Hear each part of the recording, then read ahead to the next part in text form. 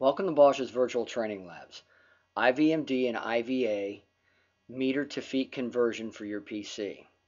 When configuring IVMD with the Configuration Manager or Archive Player 2.20 for forensic searches, all object sizes and speeds are in metric measurements by default.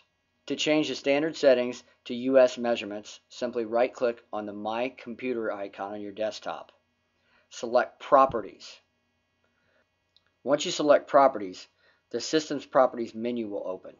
Click on Advanced, then select Environment Variables. This will open up the Environment Variables menu. From here, you have two options. You can either create an environmental variable for a user or for the whole system. In this exercise, we're going to click New for a user. This will open up New User Variable. In the variable name, we are going to type lang, L-A-N-G for language, and variable value, US. At this point, we'll click OK. You will now see the variable you just created in the Environment Variables menu.